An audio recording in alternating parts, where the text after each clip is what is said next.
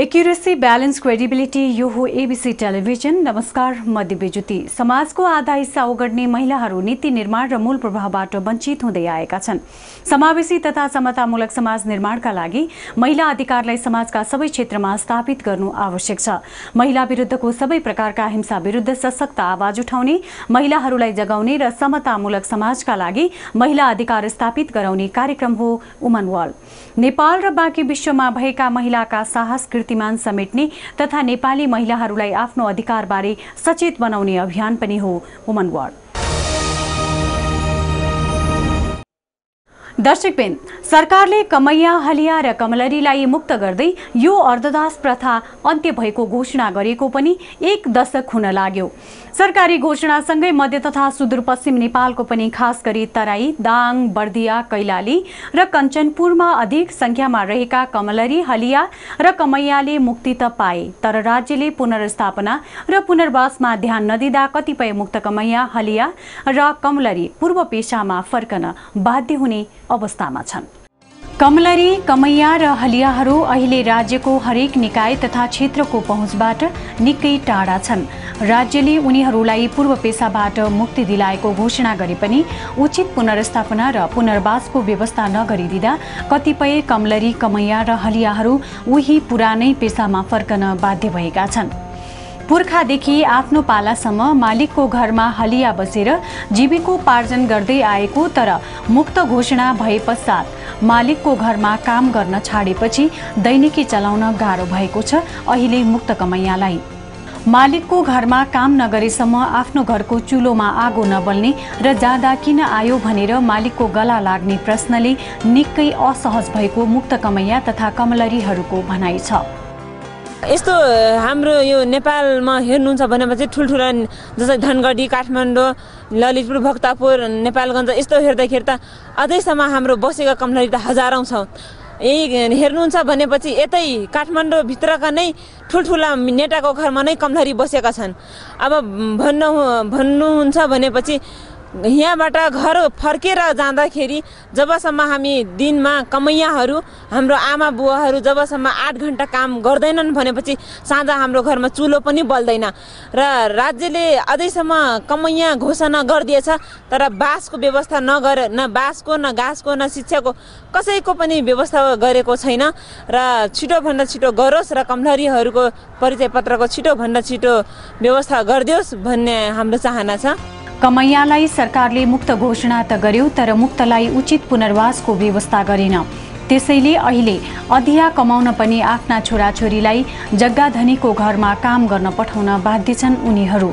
अधिया कमाउन जग्गा पाउन छोराछोरीलाई मालिकको घरमा पठाउनै पर्ने नभए जग्गा नपाइने मुक्त कमैयाको भनाइ छ। मुक्त कमैया मात्र होइन मुक्त हलिया र कमलरीको पनि अवस्था त्यस्तै छ। मुक्त कमैया र हलियालाई सरकारले तराईका विभिन्न जिल्लामा दुई दुई कट्ठा जमिन उपलब्ध गराएको छ तर त्यसरी उपलब्ध गराएको कतिपय जमिन खेती योग्य छैन भने परिवारको सङ्ख्या धेरै भएकालाई उब्जनीले एक छाक खान पनि पुग्दैन। सरकारले अहिलेसम्म चाहिँ अब मुक्त कमैयाहरूलाई जग्गाको चाहिँ व्यवस्था चाहिँ अब छैनन् के? छैनन्। अब छुटकमिया पनि छ होइन? धेरै त छुटकमिया छन्। अरू चाहिँ परिचय पत्र पाएको जत्तिकै चाहिँ छन्। अरू चाहिँ मुक्त कमियालाई चाहिँ अलि पाँच कट्ठा र तिन कट्ठा र दुई कट्ठा र एक कट्ठाको डरमा दिइराखेको छ यसरी। अनि छुटकमियाको र फेरि चाहिँ एकदम कमजोर व्यक्तिको कमैयाहरूको छोराछोरी चाहिँ अब घरमा चाहिँ खाना लाउन न होइन? घरमा खाना लाउन चाहिँ पुग्दैन भने फेरि चाहिँ ऊ कमलारीलाई फेरि चाहिँ अब छैन भने उसलाई कमहारी लगाउने बर्थडे छन् बर्थडे छन् हाम्रो घरमा चाहिँ केही छैन नभए छोरीले चाहिँ कोही मान्छे चाहिँ अब अड्याबट्या लगाउँछु भन्छ होइन? अड्याबट्या लगाएर फेरि आफ्नो जिउ जीविकोपार्जन हुन्छ भनेर चाहिँ भन्छ। त्यसपछि उनले के भन्छ कि आफ्नो छोरी दे आफ्नो छोरी दे त्यसपछि तँलाई आड्या दिन्छु भन्छ। कमलरीले फेरि हामी चाहिँ अब के गर्ने खेती जोत्नको लागि जिउ पाल्नको लागि हामी चाहिँ त्यो छोरीलाई हामी फेरि कमलरी लगाउन चाहिँ बाध्य छौँ। उचित पुनर्वासको व्यवस्था नभएपछि पुरानै अवस्थामा फर्कन बाध्य भएको भन्दै मुक्त कमैयाहरूले आफूहरूलाई सरकारले उचित व्यवस्थापन गरिदिनुपर्ने माग गरे। तराईमा बस्न चाहनेलाई दस कट्ठा र पहाडमा बस्न चाहनेलाई कम्तीमा दस रोपनी जमिन उपलब्ध गराए मात्र आफूहरूलाई जीवन धान्न सजिलो हुने मुक्त कमैयाहरूको माग छ। अब रोजगारी कुनै ठाउँ रोजगारी नभएको हुनाले महिलाहरू बिचल्ली परेका छन् अब खाने गाड छैन बस्ने बार छैन। त्यो भएको हुनाले महिलाहरू धेरै पछाडि परेका छन् धेरै महिलाहरूले बुझेको छैन। किनकि अब उहाँहरूलाई जानकारी पनि भएको छैन। म त मैले महिलाहरूलाई त्यसै गरी हाम्रो पुरुष दाजुभाइहरू अब दुई हजार पैँसठी साल भदौ एक्काइस गते मौती भइसकेपछि उहाँहरू इन्डिया जान भएको छ। इन्डिया सरकारले भाँडा मजाउन लगाएको छ। त्यही भाँडा माझेर पनि होटलको भाँडा माझेर आफ्ना छोराछोरीहरूलाई पारिराखेको अवस्था छ। तर नेपाल सरकारले अब खालि एउटा नागरिकता दिएछ। नेपालको नागरिक हो तिमीहरू भनेर छाडिदिएको छ त्यो भएको हुनाले हामी नेपालको नागरिक मात्र नभएर हामी त भारतको भाँडा माझ्छु भनेपछि यो नेपालको नागरिकता हामीलाई किन चाहियो? हामीलाई त्यो नेपाल सरकारले भार यो हाम्रो नेपालको नागरिकता पनि उहाँहरूले उहाँहरूलाई बुझाउने भन्ने एउटा हामीले अभियानै सुरु गरेका छौँ। हामी यति नेपालको नागरिक हो भने चाहिँ हाम्रो देश यसै देशमा भाँडा माझौँ त हाम्रै नेपालमा।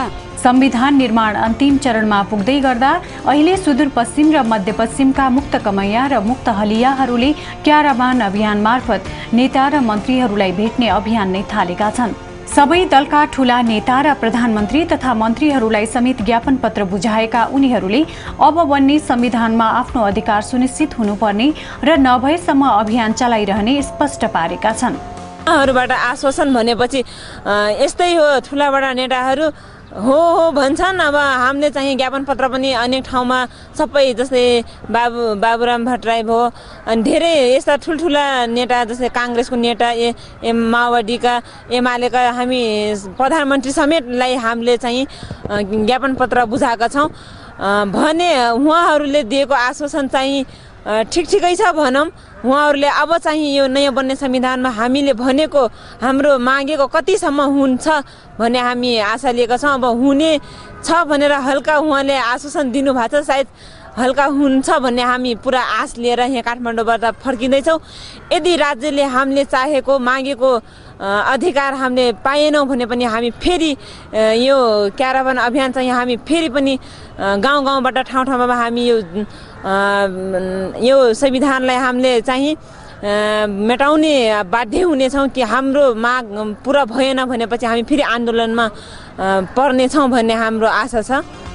सरकारले आफूहरूलाई मुक्त गरेको दशक बितिसक्दा पनि उचित पुनर्वासको व्यवस्था नगरेको भन्दै मुक्त हलिया कमैया र कमलरीहरूले क्याराबान अभियान चलाएका हुन्। विभिन्न दलका शीर्ष नेताहरू प्रधानमन्त्री तथा मन्त्रीहरूसँग भएको भेटमा उनीहरूले आश्वासन त पाए तर त्यो आश्वासनमै मात्र सीमित हुने हो वा यसपटक व्यवहारमा पनि कार्यान्वयन हुन्छ। त्यो भने प्रतीक्षाको विषय हो। तर मुक्त कमैया हलिया तथा कमलरीहरूको पनि सामाजिक आर्थिक र राजनैतिक क्षेत्रमा पहुँच र सहभागितालाई सुनिश्चित गरिनु आवश्यक छ र त्यसो भए मात्र समतामूलक समाजको कल्पना गर्न सकिन्छ। क्यामेरा पर्सन भविन्द्र कुलुङका साथ एबिसी रिपोर्टर सोनिसा र दिव्यज्योति काठमाडौँ।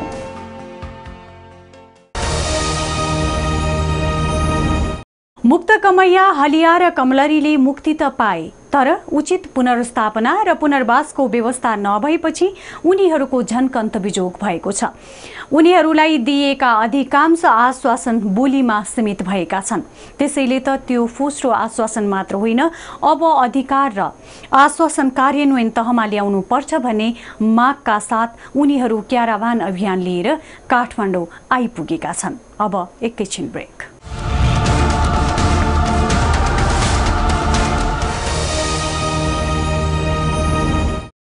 दर्शकबिन मध्य र सुदूरपश्चिमका खास गरी तराईका विभिन्न जिल्लामा धनीमानीले दशकौँदेखि कमैया र कमलरी राख्ने चलन थियो र कमैया हलिया तथा कमलरी राख्दा थारू जाति र दलितलाई राखिन्थ्यो। मालिकहरूले हलिया कमैया र कमलरीलाई श्रमसँगै सबै खाले शोषण गर्दथे।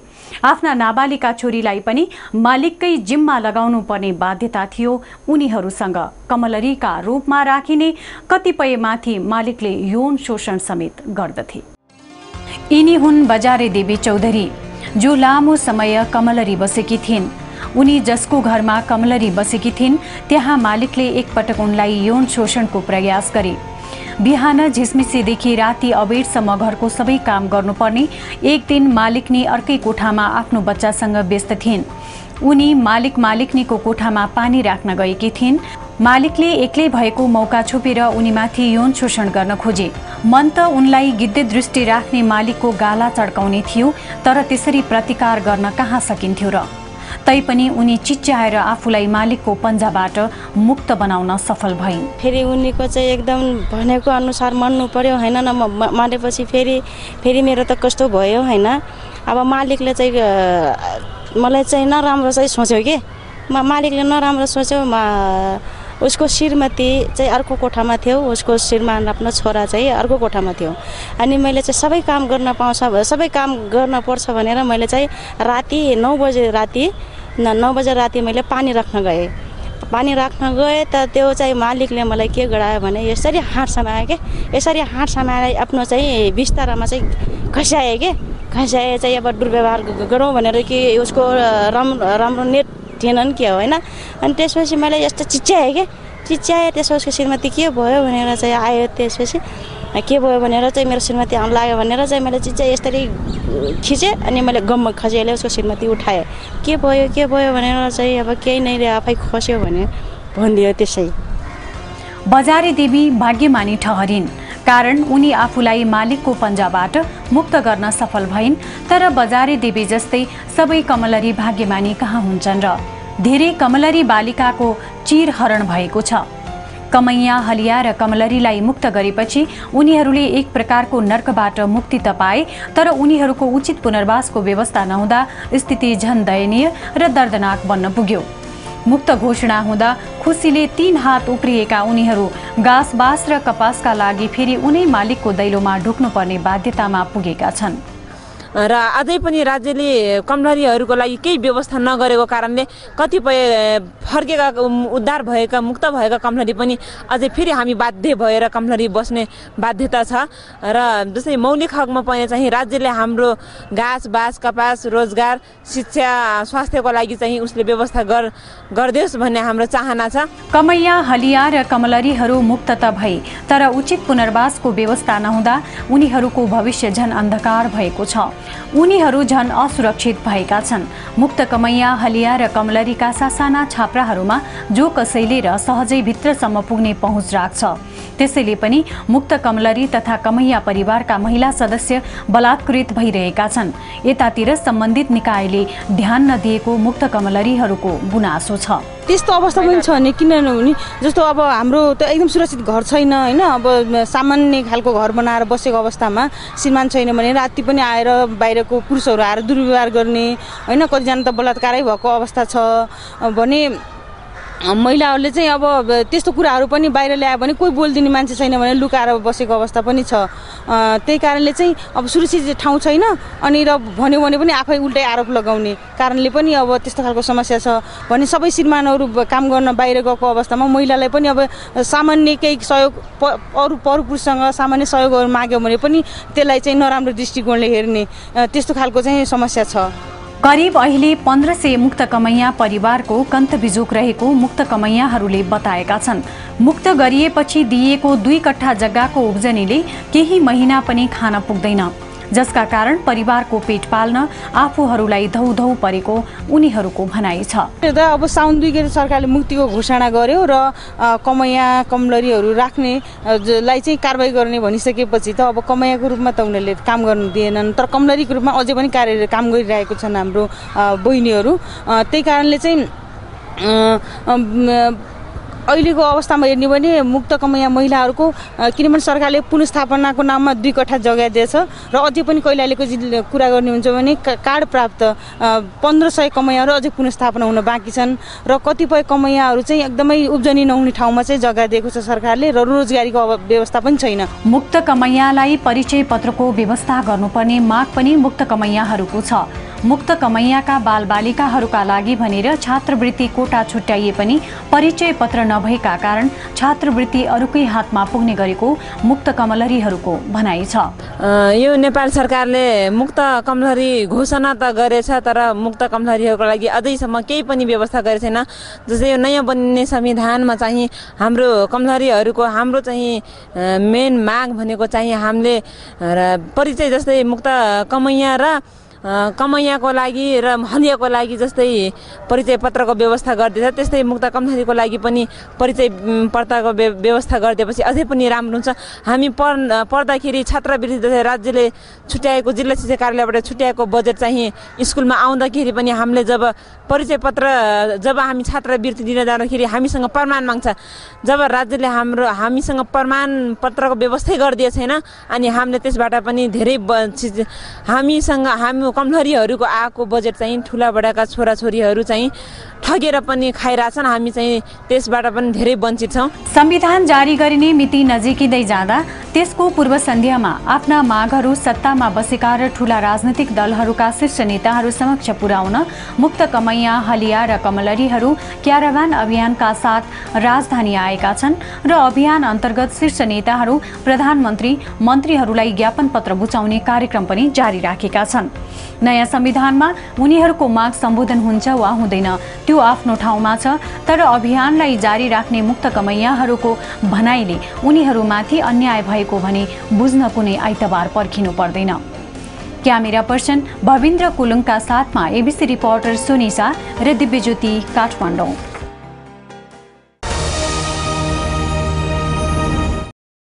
हुन त मुक्त कमैया हलिया र कमलरीका नाममा विभिन्न खाले सुविधा र कार्यक्रम गएको पाइन्छ। तर त्यो सुविधा वास्तविक मुक्त कमैया हलिया र कमलरी भन्दा पनि मिलाएर अन्यत्रै तोडमोड गर्ने र अन्यलाई दिने गरिएको पाइन्छ। सबैलाई परिचय पत्र वितरण नभएका कारण पनि यस्तो समस्या देखिएको हो। उता उनीहरूलाई अहिले जे जति दिइएको छ त्यो पर्याप्त त छैन नै सामान्य गुजारा चलाउन पनि नपुग्ने देखिएको छ। त्यसैले उनीहरूका दुःखका दिन अझै लम्बिने निश्चित छ। फेरि बेला भएको छ एउटा छोटो ब्रेकको।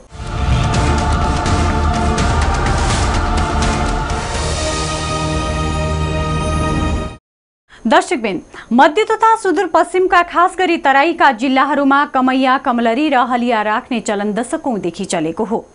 भूमिमा आफ्नो स्वामित्व जमाएका जमिनदारहरूले भूमिहीनहरूलाई हलिया कमैया कमलरी राख्ने चलन चलाए। गरिब आदिवासी थारू र दलित समुदाय कमैया कमलरी र हलिया बस्न बाध्य भए। देशमा ठूला ठूला राजनीतिक परिवर्तन आए पनि उनीहरूको जीवन र नियतिमा भने खासै परिवर्तन आउन सकेको छैन। दुई हज़ार बैसठी, त्रिसठी सालको जनआन्दोलनसँगै देशमा ठूलो परिवर्तन आयो। यो परिवर्तनले कमैया, कमलरी र हलियाको जीवनमा पनि नयाँ खुसी ल्याउने अपेक्षा गरिएको थियो, तर ती अपेक्षा अपेक्षामै सीमित भए। सरकारले भूमिहीनहरूलाई भूमि उपलब्ध गराउने भन्यो, तर भूमिहीन कमैया, हलिया र कमलरीले एक छाक टार्न सक्ने भूमि पनि पाएनन्। सरकारको बोली र व्यवहारमा तालमेल मिलेन। त्यसैले अहिले मुक्त कमैया कमलरी र हलियाको झनबिजोग भएको छ। कमैया र हलियाहरू दशकौंदेखि मालिकको घरमा दिनरात नभनी दुःख गर्न बाध्य थिए। तापनि उनीहरूले मिठो मसिनो नभए पनि दुई गाँस खान पाएका थिए। तर मुक्त भएपछि उचित पुनर्वासको व्यवस्था नहुँदा मुक्त हुनु भनेको झन दुःख पाउनु जस्तै भएको छ। उनीहरू न फर्केर मालिकको दैलोमा जान सक्छन् न सरकारले उचित व्यवस्थापन नै गर्छ। भन्नुपर्दा व्यवसाय पनि छैन होइन? अब मालिकको घरमा पनि जाँदैन। किन मालिकबाट छुटकारा पाएपछि लाज लाग्छ? बिन्न नाक नभई आयो भन्ने पनि एउटा सवाल हुन्छ। त्यस भएर जाँदैन। लेबरी गरेर बच्चाहरू हुर्काइरहेको छौँ अब गुजारा चलाउनु पर्यो पेट पाल्नु पर्यो गाह्रो छ। बालबालिकाले उचित शिक्षा पाउन सकेका छैनन्। एकल महिलाको झन कन्त बिजोग छ। बालबालिकाको लालन पालन गर्न अन्य जोहो गर्न निकै धौधौ परेको एकल महिलाहरूको भनाइ छ। सरकारले परिवारलाई खान पुग्ने गरी जमिन उपलब्ध गराउनु पर्ने र आफ्ना बालबालिकालाई उचित शिक्षा दीक्षाको व्यवस्था गर्नुपर्ने उनीहरूको माग छ। तर संविधान आउँछ कस्तो आउँछ? दलित महिला पछाडि परेको वर्गको लागि नीति नियम बनिन्छ कि बनिँदैन? अझ तिनी हुने खाने महिला हुने खाने बाबुन छेत्रीहरूको लागि आउँछ कि दलितको लागि र पछाडि परेका वर्गको लागि आउँछ? त्यो हामीलाई खुसी छैन। तर हाम्रो माग जब यो मैलो मौलिकी हकमा रहँदैन हलिया महिला कमाया कमलरीहरूको माग जबसम्म मौलिक हद हकभित्र रहँदैन तबसम्म हामीलाई विश्वास छैन। राख्नुपर्छ नेताहरूले। उहाँहरूले भोट मात्र माग्ने होइन हामीसँग। भोट मात्र भोटको बेला मात्र नारा राम्रो नारा दिने माग्ने होइन। तर जो उहाँहरूले घोषणापत्रमा राख्नुभएको छ तपाईँहरूका माग जाही छन्। हलिया कमैया कमलरी दलित महिला भनेर राख्नुपर्छ म हलिया मुक्त हो। अनि एकल महिला पनि हो। अब केही सवालमा भन्नुपर्दा एकल महिला भनेपछि साह्रै पीडा छ बच्चाहरू पाल्न गाह्रो छ होइन? समाजले पनि हेप्छ। अनि दोस्रोतिर शिक्षा स्वास्थ्य रोजगारको व्यवस्था छैन। हाम्रा मेरा मेरा भन्नाले पनि सम्पूर्ण महिला एकल महिलाहरूका साना बच्चाहरूलाई हुर्काउन गाह्रो छ। सरकारले दिन त दिएको छ पाँच सय भन्छ। अनि अहिले पनि जुन बजेट वियोजन भयो त्यसमा हेर्दा अँ, एकल त्यो जुन सामाजिक सुरक्षा भत्ता अन्तर्गत ज्येष्ठ नागरिकलाई हजार रुपियाँको दरले दिने निर्णय गरियो। अनि एकल महिलालाई अहिलेसम्म कुनै पनि केही पनि त्यसको वास्तव्यस्तै गरेन। अहिले पनि बाह्र वर्ष कटेपछि भारतमा गएर सानोतिनो ज्यालादारी काम गर्न हलियाका छोराहरू बाध्य छन्। नेपालमा बसेर परिवारलाई पाल्न नसकिने भएपछि आफ्ना छोराहरू भारतमा भाँडा माझ्न पनि बाध्य भएको भन्दै भारतबाट कमाएर ल्याएको पैसाले परिवारको मुखमा माड लागेको भनाइ छ मुक्त हलिया परिवारका महिलाको। उनीहरू साह्रै दुःखी छौँ हामी। किन गाड छैन बास छैन अब खाने गाड छैन बस्ने बास्ने भएपछि त मान्छेलाई समस्या हुन्छ कहाँ जाने के खाने फेरि त्यसै मालिकको घर गएर फेरि हलो जोत्नु पर्ने बाध्यता छ। भन्छु तपाईँहरू त अब तपाईँको त नेपाल सरकारले घरिएको घोषणा गरिरहेको छ गाँस बास शिक्षा स्वास्थ्य रोजगारीको ग्यारेन्टी गर्ने भनिएको छ। खोइ त तपाईँहरू किन हाम्रो दैलानिर आउनुहुन्छ फेरि? हाम्रो देलाखिन हो तिमीहरू काख जाऊ तिमीहरू त हाम्रो विरुद्धमा लाग्यो हो। हिजो त कमसेकम एक एक माना चामल पाइन्छ भने अहिले त त्यो एक माना चामल पनि वञ्चित भयो। त्यो भएको हुनाले छिटोभन्दा छिटो नेपाल सरकारले अँ, पुनर्स्थापना गर्नुपर्छ। उचित पुनर्स्थापना पुनर्स्थापना गर्नमा त्यो खोलाको किनारमा लगेर प जहाँ पहिरो परेको छ त्यही ठाउँ लगेर सानो जग्गा दिएर एक लाख रुपियाँ दिएर त्यो पुनर्स्थापना हुँदैन। हाम्रो माग भनेको दस कट्टा पाहाडकोमा दस कट्टा र तराईको दस रोपनी जग्गा हामीले भनेका थियौँ। सरकारले आफूलाई उचित घाँसबास र कपासको व्यवस्था नगरी नागरिकता नै सरकारलाई बुझाउने सम्मको निर्णय मुक्त हलियाका परिवारले गरेका छन्। सरकारले पुनर्स्थापनाका लागि कम्तीमा पनि प्रति परिवार दस कट्ठा जमिन उपलब्ध गराउनु पर्ने र त्यसो भए मात्र आफूहरूको मुखमा माड लाग्ने उनीहरूको भनाइ छ। नयाँ संविधान मार्फत आफूहरूको माग सम्बोधन गर्नुपर्ने माग राखेका मुक्त कमैया हलिया र कमलरीहरूले माग पूरा नभई कडा आन्दोलन गर्ने चेतावनी समेत दिएका छन् र उनीहरूले क्याराभान अभियानलाई आफूहरूको माग पूरा गराउने अस्त्रको रूपमा लिएका छन्। त्यसैले उनीहरूले आफूहरूको माग पूरा नभएसम्म क्याराभान अभियान जारी राख्ने पनि स्पष्ट पारेका छन्। क्यामेरा पर्सन भविन्द्र कोलुङका साथ एबिसी रिपोर्टर सुनिसा र दिव्यज्योति काठमाडौँ। कुनै पनि गाडी गुड्न चारवटै पाङ्राको अवस्था ठिक हुनुपर्दछ। कुनै एउटा मात्र पाङ्रामा खराबी आयो भने त्यो राम्ररी गुड्न त कि दुर्घटनामा पर्न सक्ने सम्भावना अधिक रहन्छ। हाम्रो देश समृद्ध बन्न नसक्नु पनि यही सत्यले काम गरेको छ। नेपालका केही सीमित जाति र क्षेत्रका बासिन्दाको जीवनस्तर चेतना स्तर र उनीहरूले पाएको सेवा सुविधाको तुलनामा अधिकांशले पाएको सेवा सुविधा अत्यन्त न्यून छ।